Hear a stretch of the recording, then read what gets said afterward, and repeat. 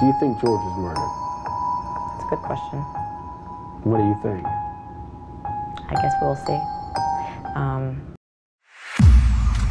Hey, true crime besties. Welcome back to an all new episode of Serialously.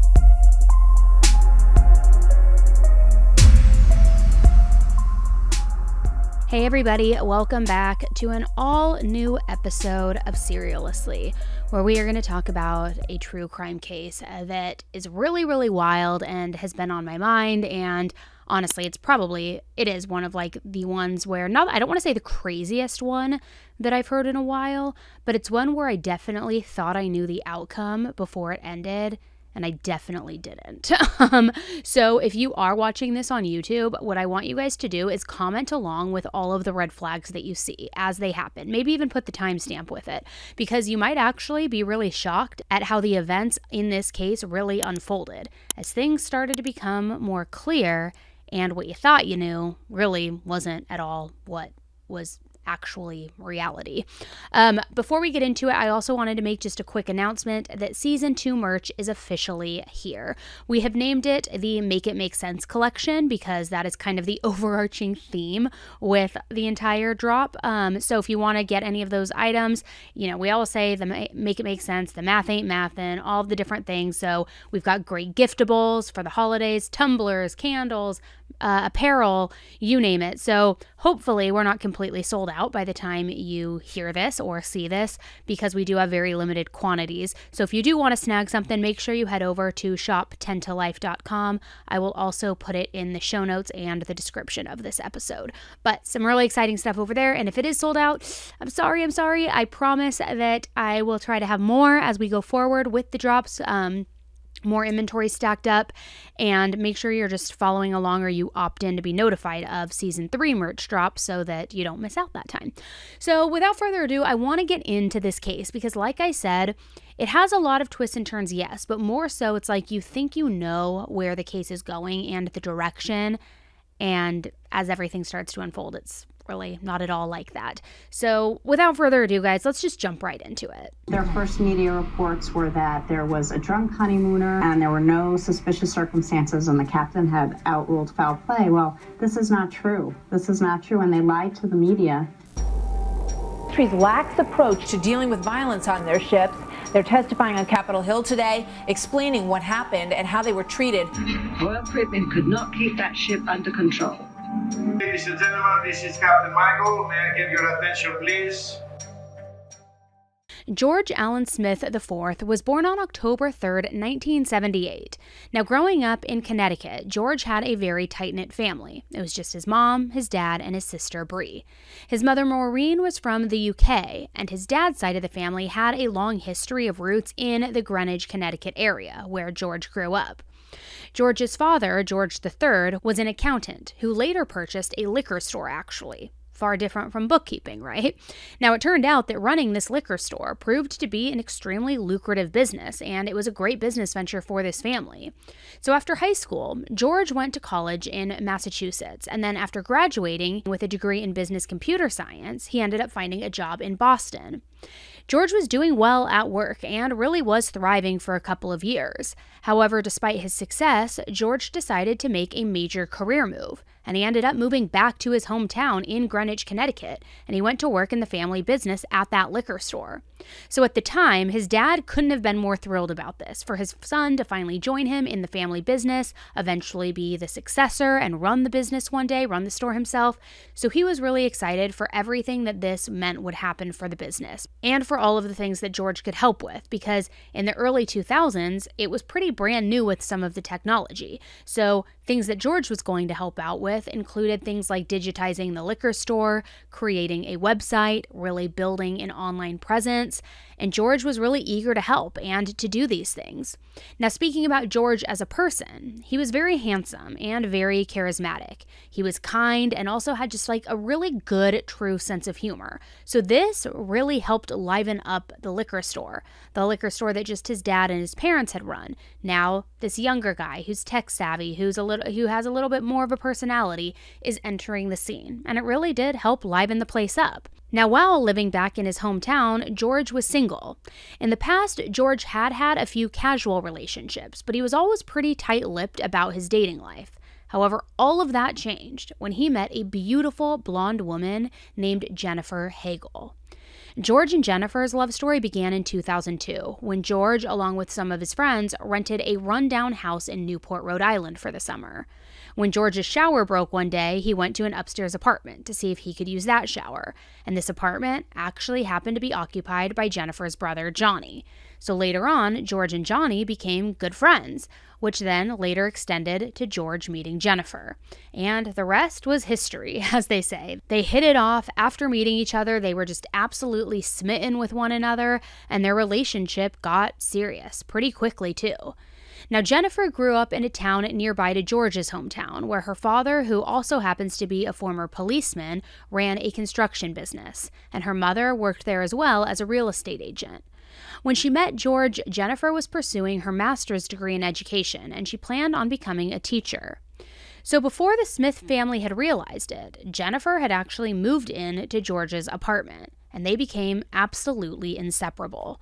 They were both super attractive, they were fun loving, kind, and they were really just those types of people that everyone naturally wanted to be around.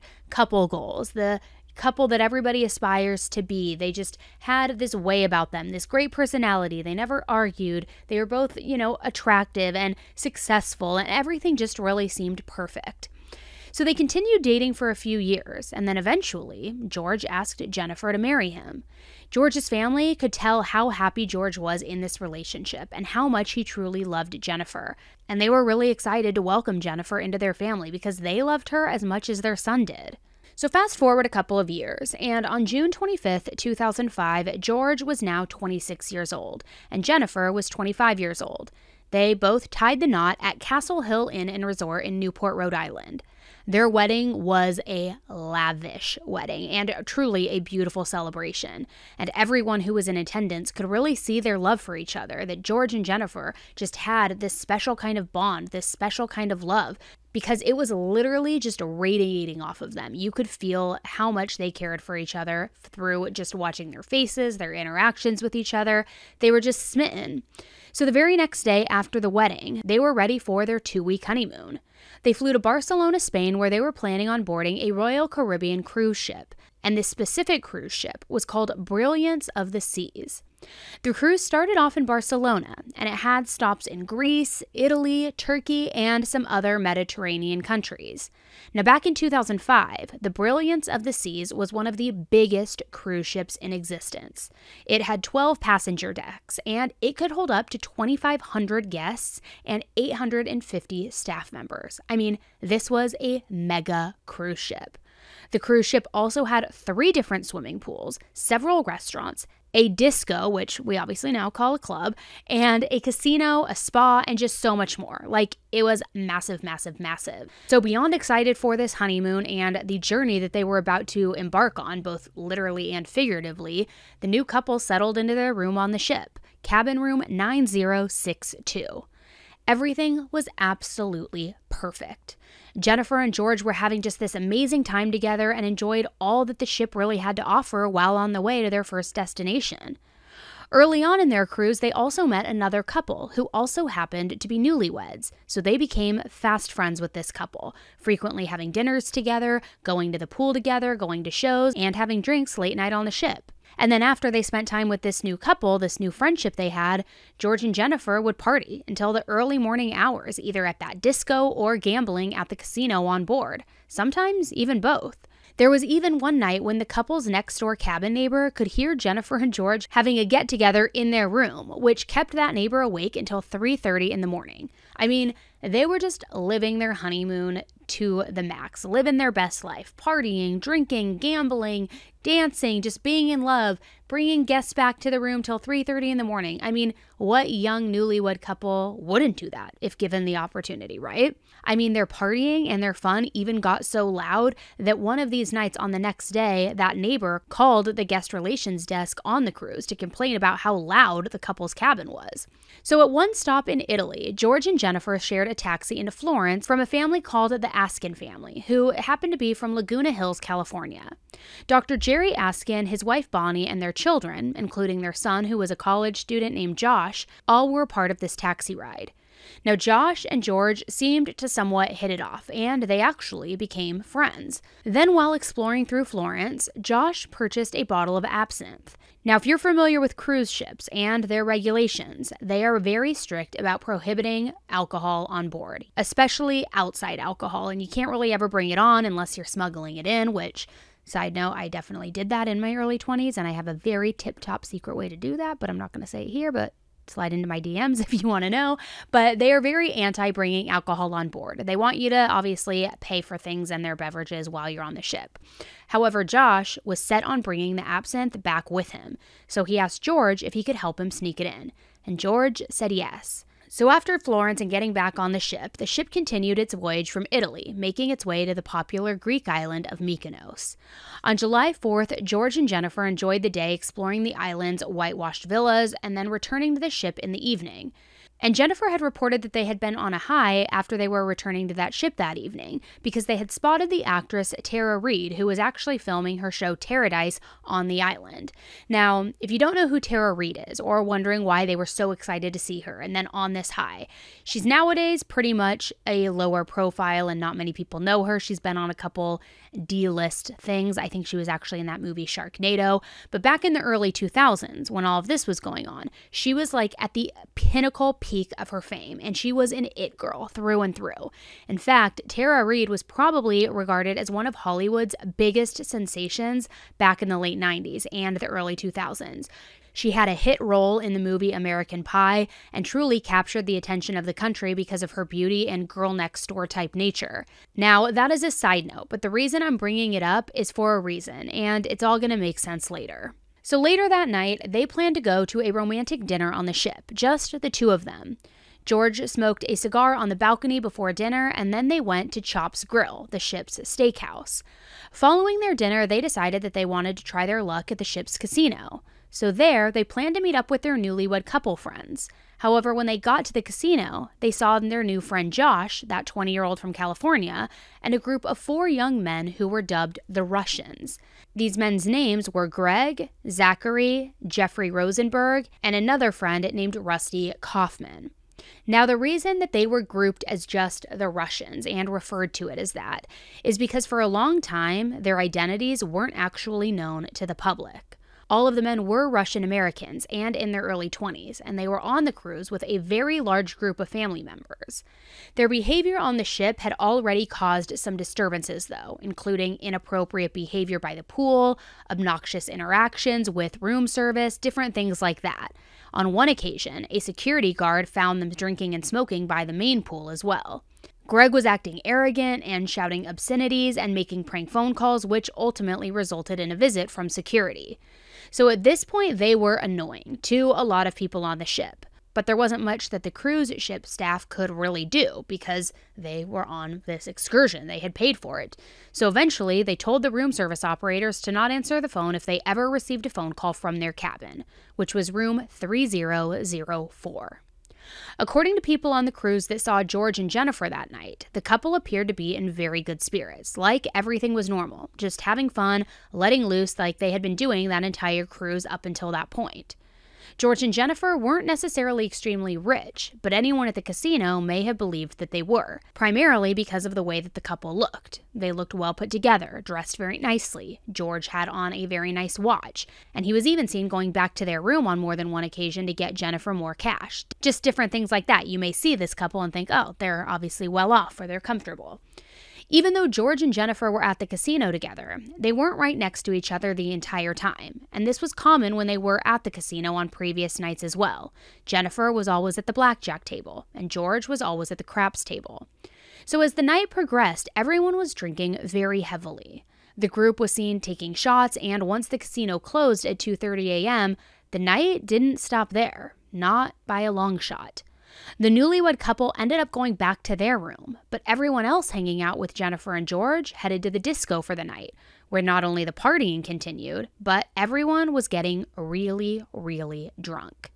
People at the disco reported seeing the group at a table taking shots from a liquor bottle that they had brought there, which happened to be the absinthe bottle.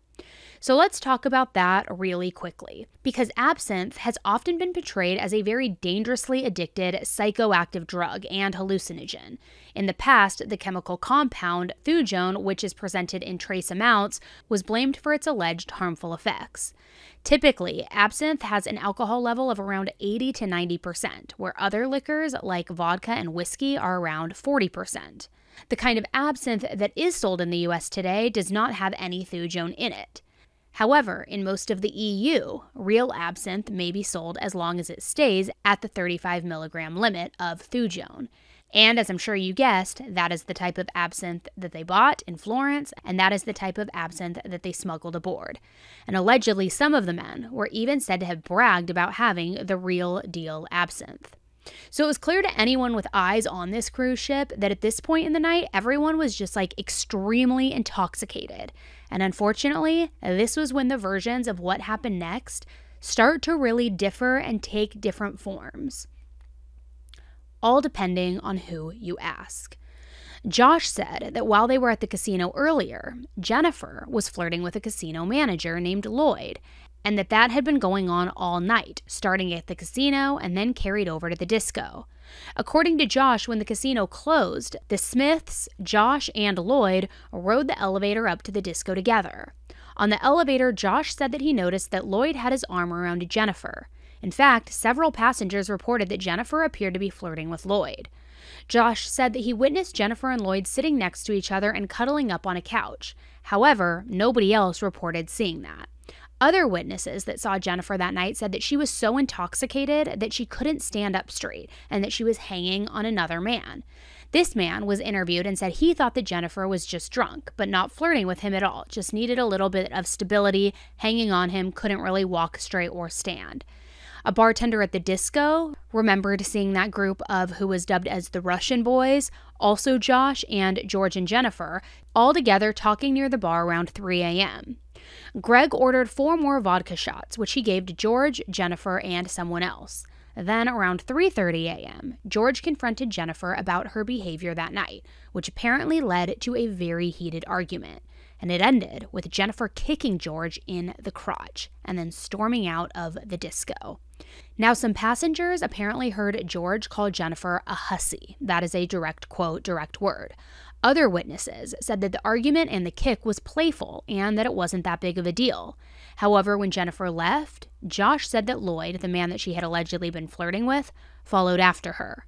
So now it was just George, Josh, Greg, Zachary, and Rusty.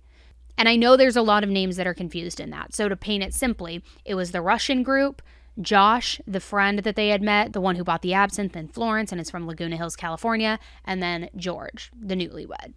So around 3:30 a.m., the disco ended up closing. Josh said that everyone realized how drunk George was and that he was having trouble walking, so they decided to help George get back to his room. They all walked him to his room, and when they got there, Jennifer, his bride, was not there. And now George, of course, wanted to find Jennifer. Josh said that George changed his shirt and the group of men then went out and looked for her. Unfortunately, they weren't able to find her anywhere, so they ended up just going back to George's room. Rusty said that he remembered that the group left George on his bed and that George was grateful and that he actually kissed one of the boys and promised to buy them a round of drinks the following day. After that, Josh said that he and the group of Russians went back to Rusty's room and he was back in his own room by 5:15 a.m. The next morning, another passenger on the cruise, a 16-year-old girl named Emily, went out onto her balcony at around 7:30 a.m. with her camera. She was hoping to take some pictures of the sunrise and the beautiful ocean views. While out on the balcony, she noticed something on the overhang of one of the ship's lifeboats, something that was about to turn this entire cruise ship into a living nightmare. Emily saw something horrifying, and as she took a closer look, she began to see what she could only describe as what looked like someone had died on there. The canopy on the ship had a large amount of blood on it, and as weird as this sounds, all of the blood looked as if it was in the shape of a human body. However, there wasn't a body at all, just a lot of blood.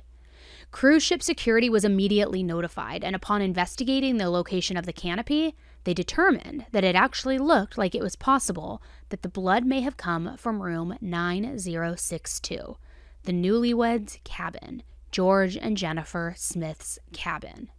Later on, the captain of the cruise made a very grim announcement. Good evening, ladies and gentlemen. This is Captain Michael. May I have your attention, please? As uh, some of you may notice today, we have been a bit of unusual activity aboard the ship. The crew and I have been working with the local authorities and some guests on board to investigate wherever a person may have gone overboard last night, or I can say early this morning. We hope to have the issue resolved shortly. So, the biggest question here is what the hell really happened after they left the disco? And we're going to get into all of that after we take a quick commercial break. So, anytime I'm watching TV, or especially now when I'm watching all of my different Christmas movies, I love to just like curl up on my couch and I love to snack because I find like it's my final me time. I always like to be peaceful and I'm always looking for the perfect snack. And I've told you before, but I'm telling you again, I found my new go to snack hub at nuts.com. They have so much variety on their website. They have salty, they have sweet, which personally for me, I love the different trail mix options because I'm always looking to mix sweet and salty. And nuts.com is your one stop shop for freshly roasted nuts, dried fruit, sweets, pantry staples like specialty flours, and so much more. Their wide selection means that there is something for everyone. It is also such a great gift to give somebody else. If you're going to a holiday party, you don't know what to bring, you don't want to show up empty handed, get something from nuts.com because it's so good. In addition to having like the most bomb snacks ever, quality is a top priority. They roast their nuts and pop their corn the same day that it ships, so they reach you deliciously fresh. It is satisfaction guaranteed next level. Now, right now, nuts.com is offering new customers a free gift with purchase and free shipping on orders of $29 or more. Just go to nuts.com slash AE. So go check out all of the delicious options at nuts.com slash AE, where you also will receive a free gift and free shipping when you spend $29 or more. I'll be honest, when I first started podcasting, an online store was the furthest thing from my mind. But now we just launched season two of our merch with holiday giftables, true crime stuff for all your true crime friends. I mean, you name it. And it is so easy, all because I use Shopify. Shopify is the global commerce platform that helps you sell at every stage of your business, from the launch your online shop stage to the first real life store stage, all the way to the did we just hit a million dollar stage, which trust me, I ain't there yet, but I'm trying. But Shopify's there to help you grow. Whether you're selling scented soap or offering outdoor outfits, Shopify helps you sell everywhere. From their all in one e commerce platform to their in person POS system, wherever and whatever you're selling, Shopify's got you covered. Shopify helps you turn browsers into buyers too with the internet's best converting checkout system, 36% better on average compared to other leading commerce platforms, and sell more with less efforts thanks to Shopify Magic, your AI powered all star. They make it so easy for me too to make promo codes in literally like the snap of a second in 30 seconds flat, which, spoiler alert, Black Friday and Cyber Monday deals might be coming your way.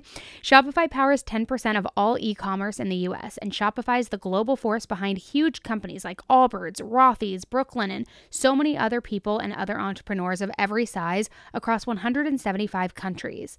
Plus, Shopify's award winning help is there to support your success at every step of the way. Because businesses that grow, grow with Shopify. Sign up for a $1 per month trial period at shopify.com slash serialously, all lowercase. Go to shopify.com slash seriously now to grow your business no matter what stage you're in. Shopify.com slash serialously. So, if you remember, Jennifer was nowhere to be found after the disco. According to various witnesses, Jennifer was seen leaving the disco at around 3:15 a.m., just moments before George and his friends left the disco as well. Now, logistically, it should have taken her no more than 5 minutes to return to her cabin, but as we know from Josh, when they got to their room, Jennifer wasn't there. So the next morning, when security was knocking on the newlyweds' cabin door and nobody was answering, they became increasingly worried. Why weren't they waking up? Why weren't they coming to the door? So finally, security opened up their door, and nobody was in the room at all. The cruise ship started paging for both of their names using the cruise audio system. Josh, who could hear the paging in his room, saw a ship attendant and said, Hey, you might want to go into the room because he probably can't hear the paging if he's sleeping. But the ship attendant said they had already done that and that he wasn't there at all. So, as all of this was happening, on the other side of the ship, that newlywed couple that Jennifer and George had been hanging out with and had befriended got a visit to their room. When they opened the door, they were startled to see ship personnel there and asking when they last saw George. They asked what was going on, and finally, someone told them that George was missing. At this point, cruise staff asked them to come down to the guest relations area, and when they got there, they saw Jennifer.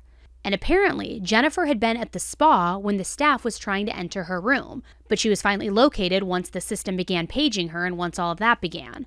So, you might be wondering, where the hell was Jennifer all night? It's kind of weird to just be totally gone and then at the spa for a scheduled massage, right? Like nothing ever happened.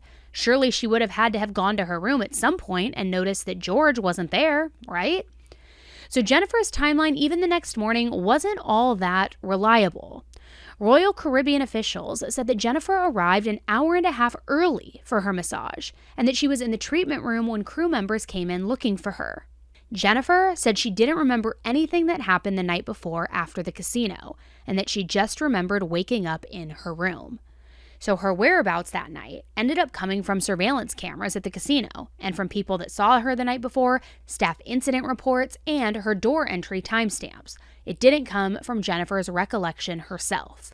And here's the timeline that all of those pieces of information began to build.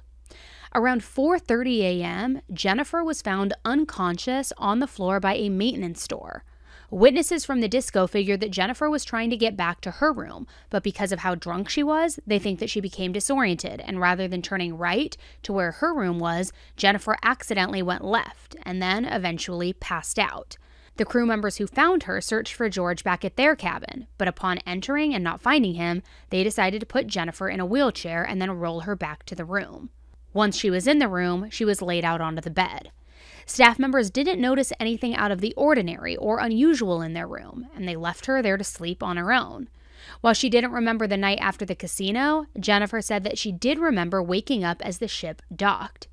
Now, even though George wasn't in the room, Jennifer apparently wasn't overly concerned, thinking that he was probably in a friend's cabin partying and fell asleep, especially since he had already done this apparently a couple of times during their cruise. So that morning, she remembered that she had a massage scheduled at the spa and pretty much just went on like business as usual.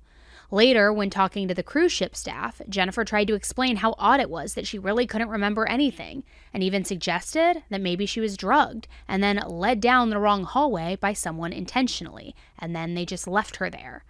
The crew members told Jennifer that George wasn't in anybody else's cabin, and after searching for a few hours, plus seeing that blood stained lifeboat canopy, they actually believed that he was no longer on the cruise ship at all, and that he might have actually gone overboard. During this, Jennifer kept saying that she didn't understand, that she couldn't remember anything, and then hearing that George may have gone overboard, this was truly just putting her brain into overload. It just wasn't computing for her, and nothing was making any sense. She kept saying she wanted to call her dad over and over and over again. And finally, she was able to call, and she told her dad that George had gone overboard, and her dad delivered that news to George's family. In the immediate aftermath of everything that was going on on the cruise, Turkish police came aboard the cruise ship to investigate what was going on.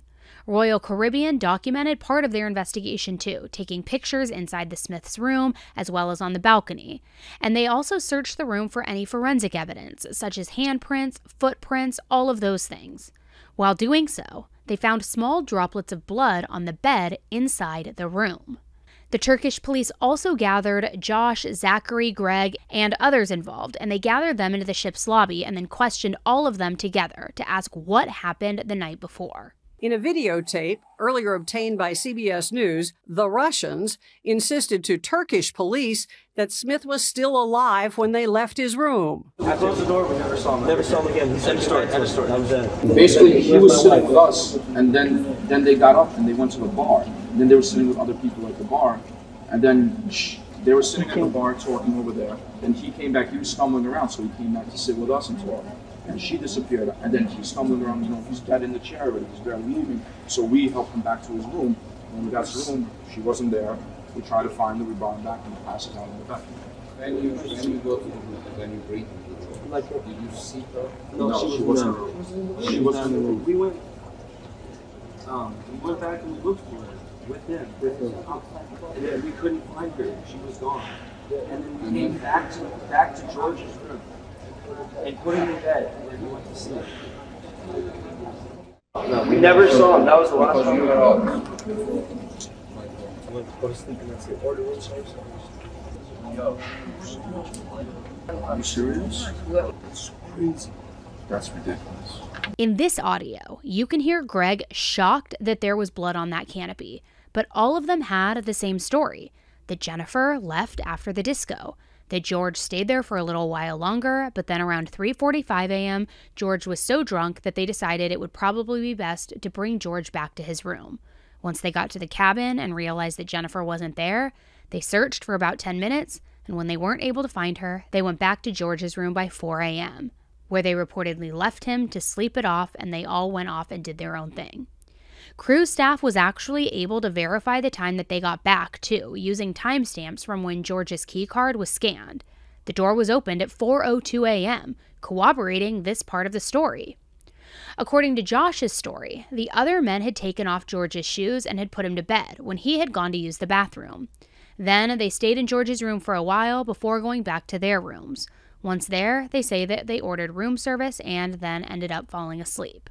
Neighbors on both sides of cabin 9062 spoke up about the sounds that they actually heard coming from the Smiths' cabin the night before. The neighbor in room 9064 was a man named Clete Hyman, who happened to be a California deputy police sheriff. He said that there were loud noises coming from the room next door and that the noises were around 3 a.m. He said that at first it sounded like a party or a loud drinking game of sorts, and that it wasn't really that surprising to hear the Smiths up late partying since he was that same neighbor who had already made that noise complaint on the cruise's excursion. Well, our first uh, contact with the couple next door was the second night of the cruise. Um, they appeared to be having quite a party in their, their room. It lasted from about 11 o'clock at night till uh, well past 3 in the morning. Uh, our next time, we'd only pass them in the hallways. We really had no contact with them. However, uh, early on the morning of the 5th, at about 4 in the morning, we were awakened uh, about 4 in the morning uh, by loud yelling coming from the cabin. Um, it sounded like people uh, cheering, uh, like a drinking contest type thing. Um, there appeared to be numerous people in the, in the room. Uh, this went on two separate times uh, that we know of, uh, the one that woke us up and then one about a minute later. Uh, then all we could hear was loud talking in the room for, oh, probably three minutes. Uh, at that point, we heard people just outside of the door of the cabin. It sounded like people maybe saying goodnight, and it sounded like maybe three or four people. at that point, we heard uh, talking in the room off and on for the next about five minutes. But then all of a sudden there became some very loud arguing out on the uh, balcony. This went on for a couple of minutes, and then we heard someone saying good night, good night, just repeatedly, like they were trying to usher uh, people out of the room. Um, after about oh, 30 seconds of that, we did hear the, the cabin door open and some male voices outside, and then uh, the males went down the hallway. After the uh, young men left the room, for next about five minutes, uh, you could hear someone going about the cabin and opening and closing uh, cabinet doors, uh, and it also sounded like they were actually moving furniture around. Uh, that went on for, like I said, five to seven minutes, and then Uh, it What, went what, out what time into was the that, balcony. Clete? Clete, what time Uh, was that A little about? after, uh, approximately 4:20 in the morning. So they're cleaning up the place. Somebody was cleaning up the, the place at 4:20 in the morning. Well, that was the assumption I made, that maybe that they were straightening up a little bit. Um, however, the noise went out onto the balcony, and you could hear furniture being moved, and then at times it sounded like furniture was being actually picked up and dropped, uh, that they weren't too careful about, you know, the way they were moving the furniture. Uh, I only heard one voice in the cabin uh, at that point. Uh, this uh, outside the movement went was sporadic. It, stuff would be moved, uh, then there'd be some silence, then furniture would be moved again. Uh, then there was just total silence. This was probably maybe two minutes or so of total silence, and then that horrific thud. Talk about that horrific thud. Well, the thud uh, originally, my first thought was someone had fallen on the balcony, but it was uh, way too loud for that. Uh, So, so, so, so that night you thought somebody may have been uh, either fallen overboard or been thrown overboard and hit the balcony. No. At no point did I really, that didn't go into my mind because the, it actually reverberated uh, in the room and, and on our balcony. So I thought maybe uh, someone had literally fallen on their balcony uh, or that uh, they had thrown furniture overboard. Because of the, the impact, it sounded like something uh, very heavy, and my first thought was maybe uh, throwing furniture overboard. So what happened the next morning when you woke up? Obviously, you, you, you heard the loud thud, went to sleep, woke up the next morning. What did you do then? Well, a little after 7 o'clock in the morning, I had gone out to look at the scenery uh, on our balcony uh, as we were pulling into port. And I did look around the partition between our balcony and the balcony of the Smiths.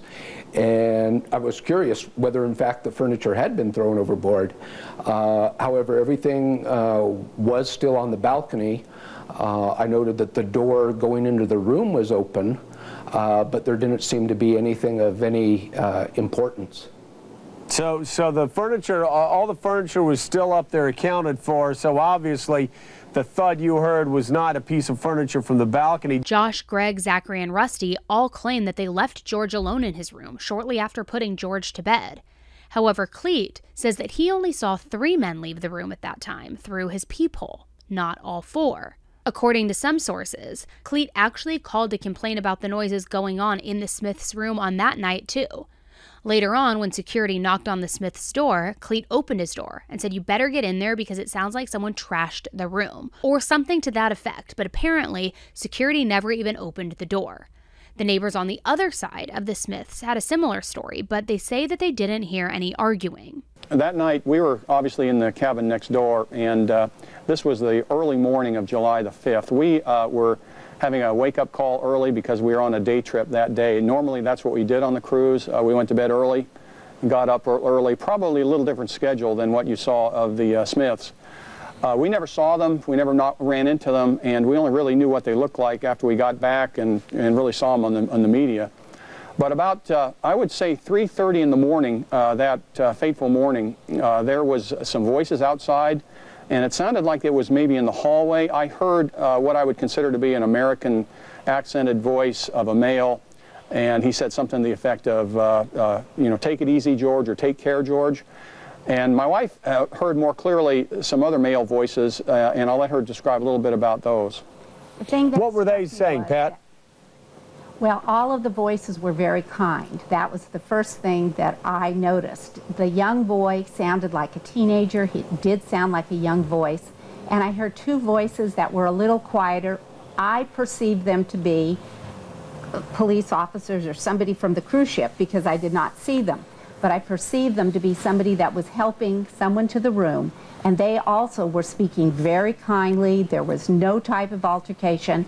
And my perception at the time was that they were taking someone who was possibly drunk back to their room and getting them settled down. And the words we heard were, settle down, George. And that was that. And that was the last thing that we heard. Four o'clock, though, about 30 minutes later, though, everything just exploded and you started hearing things being thrown around the room. Is that right?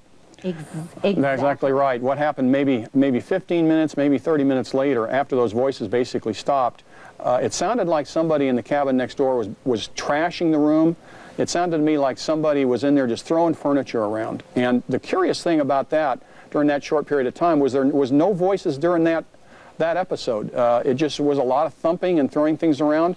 And that uh, period of time ended with one big thump. And it sounded to me like somebody picked up the couch and threw it against the wall. And then it went quiet. And then it went absolutely quiet. We, Now, I'm sorry. go ahead, Pat. I'm sorry. Go ahead. We have a delay here. Go.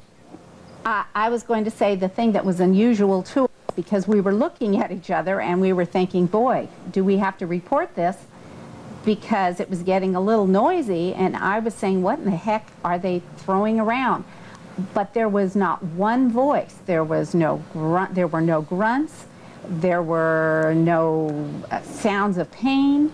There was no form of altercation in terms of verbalization. It was just physical. Yeah, it didn't sound like a fight was going on. I'm wondering, though, you, you just said, uh, Greg, that it sounded like around 415, 420 that somebody threw a couch up against the wall. In retrospect, it sounds an awful lot like what Clete Hyman said around 415. He heard a sickening thud. In retrospect, uh, do you think that may have been George's body hitting the deck? Yeah, I think it probably could have been because I think our stories are consistent in that area, about the same time and about this one big thud. So I think they're consistent there. Now, the timeline of both of the neighbors' stories match up, and it corroborates with Josh, Zach, and Greg's timeline of the night.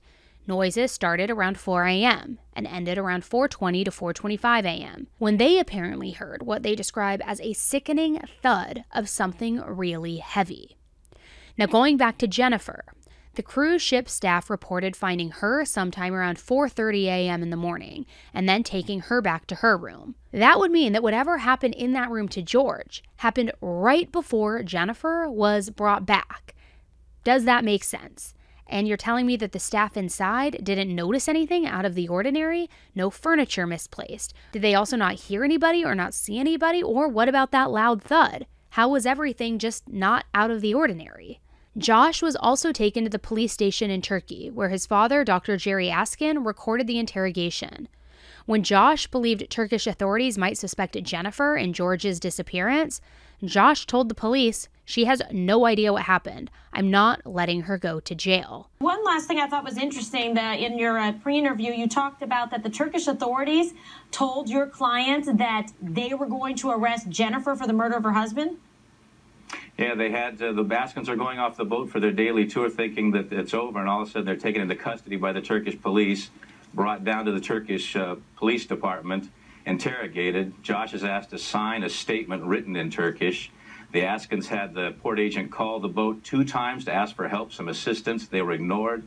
Uh, Josh signed the, the statement, Right. and then after signing it, was told that they were going to go out and arrest Jennifer now for murder. Josh then insisted that investigators needed to interview that casino manager that Jennifer was last seen with, Lloyd. Remember the one that she was accused of flirting with? However, it's unclear if authorities took Josh seriously because Turkish police quickly wrapped up their investigation and said that they believed that no foul play was involved and that this was just a tragic accident or even a suicide. They also told cruise ship staff that they could wash the blood off of the canopy, which was the most crucial piece of evidence at that point. Clearly, they didn't seem to be worried about preserving that evidence. Normally, when someone falls off of a ship at sea, there's not much blood left behind. However, some people believe that this blood pattern hinted that George was already bleeding significantly before he hit that canopy and then slipped off into the ocean. So then, when the Turkish police got off of the cruise ship and basically closed their investigation, the cruise continued on to its next destination, like nothing ever happened. Which, call me crazy, but if I was on that cruise ship, I would be freaked out. Because, in my mind, accident, maybe, suicide, possibly, but the other theory and the other thought that would cross my mind is that this person was murdered, which would mean that there was a murderer on board, and th- that would freak me out. But this cruise just continued on like nothing ever happened. George's family was, of course, absolutely devastated after learning that George most likely went overboard somehow, and that he was, of course, now because of this no longer alive. And even worse, that his body would likely never even be recovered. George was a very loyal person. Um, he was a real family guy. He was hysterically funny, and I think um, everyone that knew him loved him because he had so much to offer, and he was just genuinely kind. And it really is a terrible loss to all of us that loved George. George was very athletic. He played a lot of sports and um, he was always out with his friends and being sociable, and he was also very family oriented. We used to go on vacations together, and um, you know he was always calling us. He just really was the all-American boy that everyone wishes that they could have in their family. I have interviewed George's family in person extensively, and they are convinced that George was murdered. When we went to Greece, what is it, a week later, we, we really still thought that maybe he was somewhere. And we went to the Coast Guard, we went to the hospitals, we went all around the hospitals, we put flyers out, didn't we? And um, we went we went searching for him ourselves at night time and, and we left after about a week because my daughter was alone at home and um, we still just couldn't believe it. We couldn't believe that he was gone. And to this day, we still can't believe it. I mean, if, if we had the information about what happened to him or if, or if we Mm. had him, then we could sort of move on, but we don't have that. And, and it's just the uncertainty is what really eats away at us, I think. Now, Royal Caribbean was adamant that this must have been an accident, that George was drunk and then fell overboard all by mistake, by pure accident. Even the cruise ship captain agreed and suspected that George might have climbed up to sit on the balcony railing, then lost his balance, and then fell overboard. However, the Smith family felt that Royal Caribbean and the Turkish police didn't adequately investigate what actually had happened, and that George randomly going overboard just did not make sense, especially after learning that Turkish police supposedly only spent an hour and a half to two hours documenting the entire crime scene. After that, the ship didn't secure the crime scene properly in Turkey either. Passengers and crew members were able to come and go and leave, possibly even taking evidence with them. So, about nine days later, the FBI became involved. During their investigation of cabin 9062, they found biological evidence on the balcony, and they also noticed signs on the overhang suggesting that something or someone had been dragged over it. There was a concentrated blood spot, possibly from a primary wound, and also a bloody handprint. So they wanted to conduct a test of a life size dummy falling from that balcony to see what kind of trajectory would happen if someone accidentally fell. However, Royal Caribbean wouldn't let them do this since there were still passengers on board. Okay, well, we're looking at the picture right there, and they're, they're moving the chair up by the balcony rail, and we certainly heard from, from Royal Caribbean about maybe, you know, he scooted a chair up, and that was the way it was found. Later on, Jennifer met with the FBI and agreed to provide blood and hair samples, and she also took a polygraph test, claiming that she passed. When the blood results from the ship came back, the blood on the canopy and the droplets found on the bed were from George, not Jennifer. Still, a lot of people felt like Jennifer knew way more than she was letting on. But there really wasn't anything solid that pointed to her involvement in any single type of way. This led to FBI to look more into the Russians and into Josh. When the FBI spoke to Josh, he allegedly failed a polygraph test after passing the first one. The FBI also was apparently given photographs of the room service that the men had ordered that night, and on these photographs, it had timestamps on them because that's not suspicious at all, right? On July 6th, just a day after George disappeared or went overboard, the Russians, Jeff, Greg, and Rusty, were involved in another situation on the ship. This time, when a young woman reported to crew staff that she had been raped and thought that she might have even been recorded. She mentioned three guys in this claim as well Jeff, Greg, and Rusty, saying that they were all involved. She said that she was drinking vodka in the hot tub with the guys, and once she began feeling the alcohol, she decided to get out of the hot tub. Jeff and Greg offered to walk her back to her cabin, but they took her to a cabin belonging to one of the Russians instead. There, according to her, Jeff raped her while Greg recorded it. She described being forced into sex with Jeff, Greg, and Rusty. All three of them. Greg even told her to talk into the camera, naming him as the executive producer, as if he wanted some kind of evidence in case she claimed rape. I mean, these guys are just disgusting and complete morons, in my opinion. She says that she blacked out when Rusty became involved in all of this. And she also said that Josh was there too, but did not take part in the assault. And I'm going to come back to that in a little while, and you'll see why.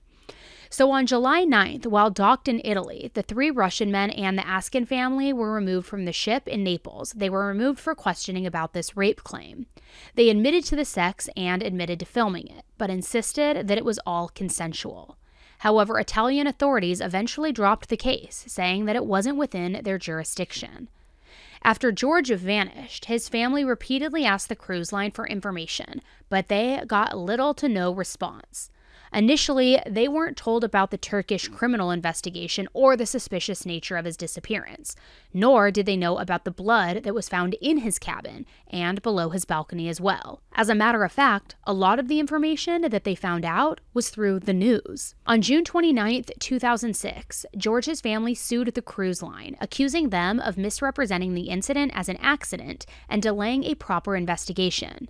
This investigation was horrible. I mean, from the beginning, the Smiths have hired attorney Brett Rivkin to sue Royal Caribbean. We know that this company should have communicated all the information they had, and the FBI should have been told listen, we may have a murder here.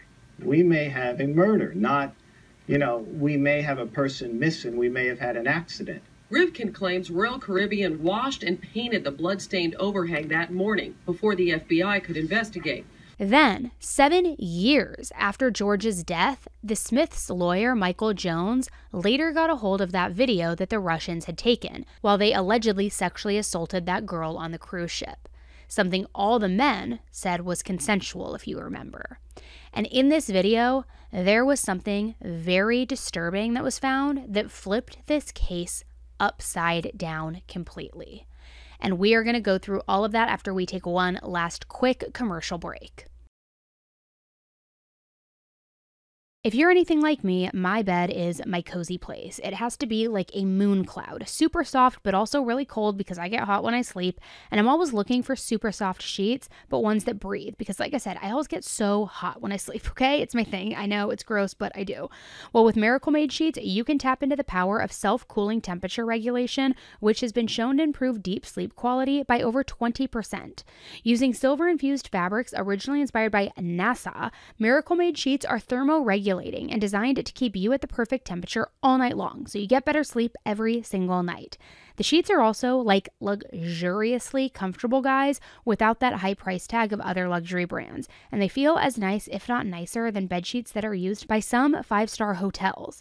These sheets are infused with silver that prevents up to 99.7% of bacterial growth, leaving them to stay cleaner and fresh three times longer than other sheets. So, no more gross odors or like skin problems, all the gross stuff that comes with sweaty sheets. Go to trymiracle.com slash AE to try it today or gift it to someone special this holiday holiday season.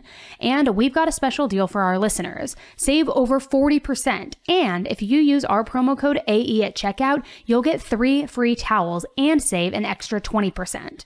Miracle is so confident in their product, it's backed with a 30 day money back guarantee. So if you aren't 100% satisfied, you'll get a full refund.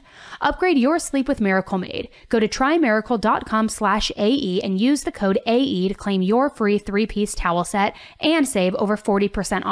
Again, that's trymiracle.com slash AE to treat yourself, a friend, or a loved one this holiday season. Now, I recently told you guys about how I changed up my makeup routine and how it totally just like upped my confidence with how I'm doing my makeup. And I've stuck with it thanks to the great tips that I'm receiving from Bobbi Brown herself. And this is all thanks to Masterclass. It's like Masterclass instructors are your own personal mentors that are going to help you reach the next level. Whether you're watching Masterclass on a TV, listening in audio mode in the app, or on their site, the quality really does speak for itself. And you might be wondering, how much would it cost to ever take a one on one class from the world's best? Easily hundreds to thousands of dollars, right? Well, with Masterclass and annual membership, it's only $10 a month. Memberships start at $120 a year for unlimited access to one on one classes with over 180 classes, with new classes added every single month. So I've been taking Bobbi Brown's classes, and not only have I learned how to do my eye makeup on my hooded eyes and make them actually pop more, but I've also learned how to disguise my under eye circles based on more strategic concealer placement. I mean, I'm learning all sorts of tips, things that I never even knew, and I'm 36 years old and I'm embarrassed that I didn't learn them sooner. I always thought that masterclass and learning from these experts was gimmicky, but guys, it's actually so good, and I've already learned so much. Learn how to either build an empire and a business with Kris Kardashian, or learn how to cook elite meals with Gordon Ramsay. They have so many different things to offer. This holiday season, give one annual membership and get one free if you go to masterclass.com/ae. So right now you can get two memberships for the price of one at masterclass.com/ae masterclass.com slash AE. Offer terms do apply. So it's now seven years after George's disappearance or mysterious overboard fall. This video was discovered of the Russians allegedly sexually assaulting this girl. And in the video, you can hear the men joking about George's death right after he disappeared. One of the men said, Told ya I was gangster, and the other said, We gave that guy a paragliding lesson without a parachute. Hmm, seems pretty incriminating and guilty if you ask me. Now, during depositions for the lawsuit, Josh invoked the Fifth Amendment.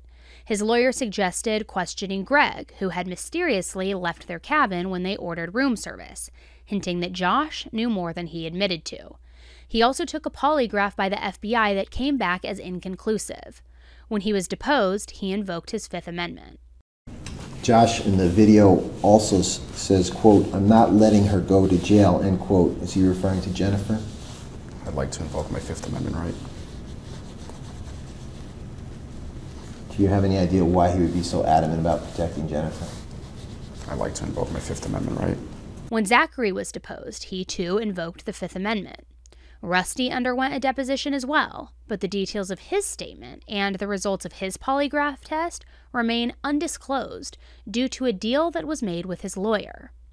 In 2010, Greg received a three year prison sentence for oxycodone trafficking, which he said he only did because it was an easy way for him to make money and be able to buy expensive clothing, jewelry, and watches, which that's not really a good excuse in my book because isn't everybody dealing drugs for money if they're dealing? So that like I only did it because I wanted expensive clothes, jewelry, and watches. Like, okay, get a better excuse. But whatever, he was arrested for it and was serving time. Now, relating to George, Jennifer later spoke out about what happened on many major media outlets, as well as on Oprah.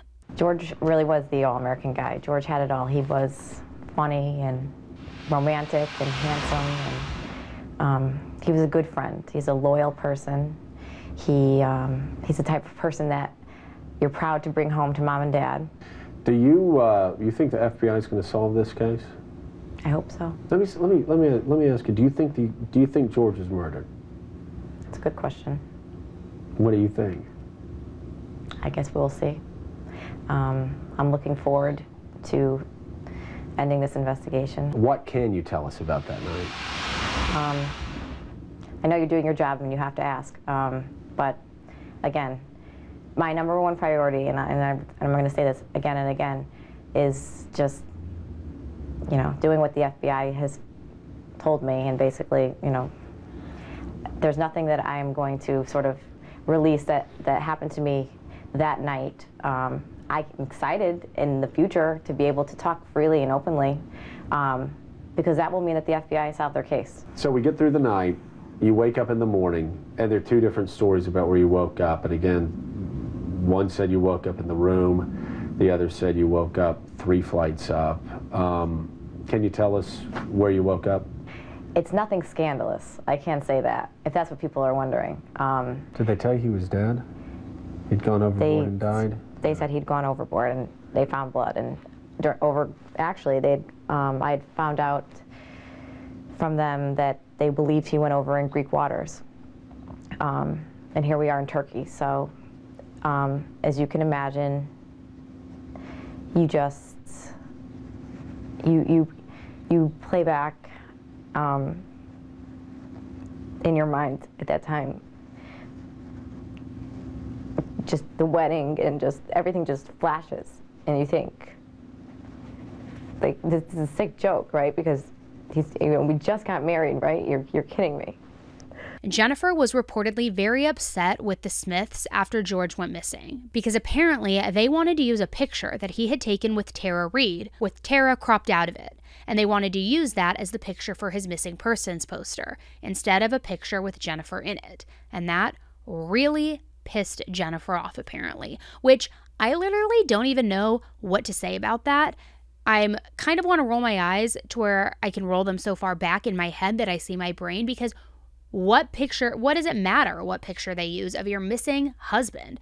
Don't you just want the photo used to get all eyes looking for him? What does it matter if you're in the picture or if it's a picture that Tara Reade was once in where Tara was cropped out? Make it make sense. And then, a few months after George's presumed death and disappearance, the Smiths were apparently starting to get suspicious of Jennifer. Later in the investigation, they stopped communication with her altogether because she refused to talk about what happened that tragic night. Jennifer claimed to not remember anything about that night, but the Smiths, they didn't believe it. Jennifer was also supposed to file a lawsuit with the Smiths, but she later settled with Royal Caribbean for $1.3 million. Jennifer stated shortly after receiving the settlement that George likely died as a result of a drunken accident. Jennifer's attorney spoke on her behalf and said, her husband's relatives refused to acknowledge the possibility that George Smith's intoxication from alcohol and prescription drugs may have been a factor in an accidental death. George's parents and sister filed a lawsuit challenging it as inadequate, alleging that it was reached in part to avoid embarrassing disclosures about Jennifer's conduct during that cruise. He would have been a loyal father and husband to Jennifer Hagel for many years, and unfortunately, I am 100% convinced he was betrayed. The split between Jennifer and her in laws seems to be irreversible. Two and a half months after my son is dead, she comes to our house and has dinner, and across the table, she says to me, I want to get on with my life. I looked at her like, how can you do this to your husband? Two and a half months after his death, you don't want answers, you want to get on with your life. It's clear that Jennifer's hiding something, so I think that in this case, it was in Jen's best interest uh, to settle so that the truth did not come out. Now, to this day, no arrests have ever been made in connection with George's death. The FBI ended their investigation into the case in 2015. Over the years, people who have analyzed this case have come up with three main theories on what could have happened to George.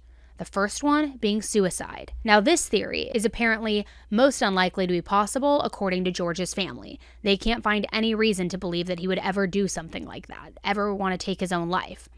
The next theory is that this was, of course, an accident. That on the night of July 5th, George was reportedly very drunk, as confirmed by witnesses and cruise ship CCTV footage. It's a possibility, as often it does happen on cruise ship fatalities. People slip, people fall, they fall over the balcony railing, and they think that this may have happened leading to his death before slipping off of that canopy cover into the sea. Some people point to evidence that one of the balcony chairs was pushed up to the railing and believe that the placement of the chair would make sense if George had used that chair to help himself get onto that balcony rail. Now, the major problems with this theory is that it doesn't exactly explain why there was blood inside the room or the bloody handprint. Also, it doesn't explain the body dragging marks. It also doesn't explain how George's room had the balcony door shut and the curtains closed after, unless, of course, someone shut it later. It's possible, yes, that the cruise ship staff that helped Jennifer into the room later shut it, but if they did, nobody ever reported doing so. George's family also does not consider it an accident, and they don't think that that is a logical theory whatsoever, and they firmly believe that George was murdered. However, it is corroborated by statements from Josh, Greg, Zachary, Rusty, and even Jennifer. That is, if you find their statements and behavior credible. Now, of course, the last theory is murder that George's fate on the night of July 5th might have involved a confrontation with one of the men who stayed behind. Remember, that neighbor in the cabin next door reported only seeing three men leave, not four. However, that neighbor wasn't able to identify which men he saw leaving, because when he watched them leave, he was only looking through the peephole, which had very limited visibility. Perhaps George Smith by whatever means, went over the balcony, two floors down. He crashes on top this metal awning. He lays there for a while. He's already bleeding. He bleeds out a little bit. And then he starts to crawl. Does he pick himself up? Does he zig when he should have zagged? Or does someone come up on the body and help it over the side? But even then, who would want to hurt George? Is it possible that George wasn't meant to be hurt in the first place? What if it was a robbery gone wrong? Because, like I mentioned earlier, while gambling at the casino, it's possible that the people around George may have targeted him if they thought that he was extremely wealthy, as people indicated they did think. On the night of July 4th, though, before George vanished, while at the casino, George met up with Josh, the absinthe kid, the one that they had shared the taxi with and went in Florence, bought the absinthe, and then they all hung out with the Russians. Josh went with George back to his cabin to get more money for Jennifer to bring it back to the casino to her. Josh and George were seen coming back to the casino around 2:20 a.m. Another passenger who had become friends with the Smiths, a man named Walter, who also happened to be a police officer, later said that George told him that he had $50,000 in cash with him. Apparently, there were also other passengers that also had similar stories, saying that George and Jennifer told them that they had anywhere from 14,000 to $50,000 in cash in their cabin, but that has never been verified. George's family, however, finds it unlikely that they actually had that much money with them, but believes that it didn't really matter if they did or they didn't, because people believed that they did. That is what matters, that is what would create motive. George's family believed that the couple looked like they were wealthy because Jennifer wore a huge diamond wedding ring and George had that very expensive watch. However, in their cabin, nothing appeared to be stolen. The room was messy, but investigators didn't believe that it looked ransacked. Not only that, but the Russians and Josh seemed to have an alibi because of those pictures of the room service that they had ordered. Even though, according to the ship's logs, there was no record of any room service being ordered or delivered to that room that morning. George's family also thinks that the droplets of blood on the bed could have come from somebody ripping George's watch off of his wrist. Now, Lloyd, that casino manager, the one that Jennifer was accused of flirting with, was another person considered to be a suspect. However, his room card and timestamps, along with his girlfriend's account of the night, confirmed that he was back in his room quickly after leaving the disco, and he actually didn't follow Jennifer. He has also denied any sort of sexual involvement or inappropriate relationship with Jennifer during the cruise. Now, I have a little bit of a theory, or not a, I, yeah, a little bit of a working theory, which I'm going to explain in just a second here. But first, I want to talk about George's family with these theories, because George's family has never given up hope, and they still believe that George was murdered. And there is more than enough evidence that suggests that he was murdered. On a post to the family's Justice for George Facebook page, it says George was murdered on Royal Caribbean's Brilliance of the Seas on July 5, 2005, after reportedly winning thousands of dollars in the cruise ship casino. George's newlywed wife was seen by multiple witnesses leaving the disco with Lloyd Botha, Royal Caribbean trainee casino manager. A knockout drug may have been slipped into George's drink in order to incapacitate George so that his casino winnings could be stolen from his cruise ship cabin without a struggle. Unfortunately, a struggle is exactly what ensued, ending in George being thrown overboard, possibly by Royal Caribbean crew members. Now, get this in 2014, the Smiths announced a $100,000 reward for information in connection to George's death, hoping for people to come forward.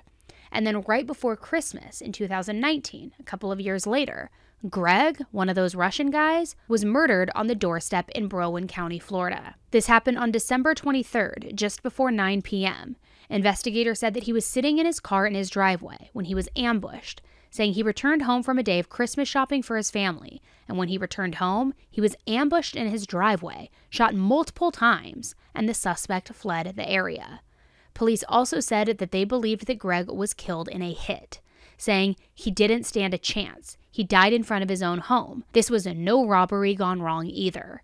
At the time, police said that there might be a link in his death and George's death, but at that point in the investigation, they were really looking into all avenues of why this could have happened, not necessarily because they found something that led them to believe that.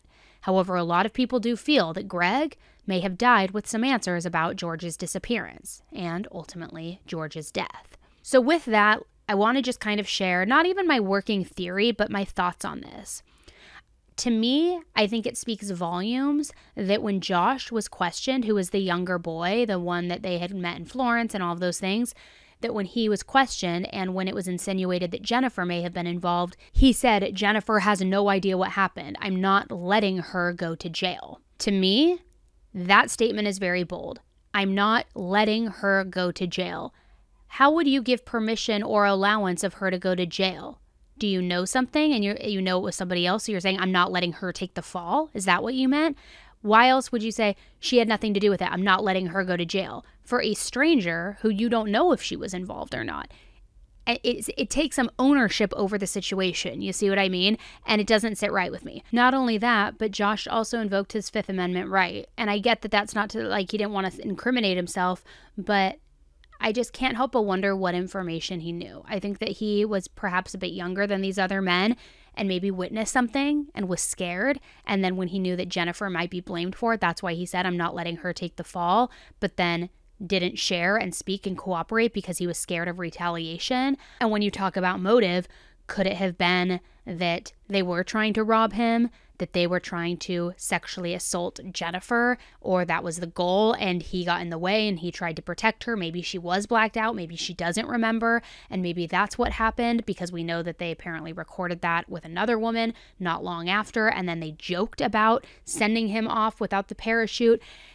There's something more to this that makes me think Josh knows more and I could be wrong, but there are also some people who think that Jennifer knows more because she was coincidentally missing that morning for so many hours and then went to her spa treatment 90 minutes early.